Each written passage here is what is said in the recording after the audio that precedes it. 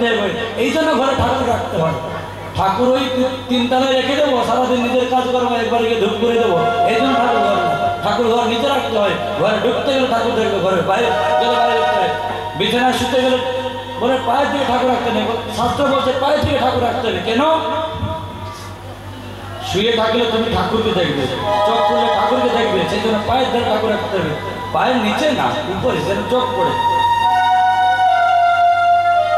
মাথার দিকে ঠাকুর রাখলে তুমি তো ঘুমায় যখন তখন দেখা পেলে না উঠলে যখন তখন দেখা পেলে না, তখন চলে গেলাম। ঠাকুর পিছনেই থেকে গেল।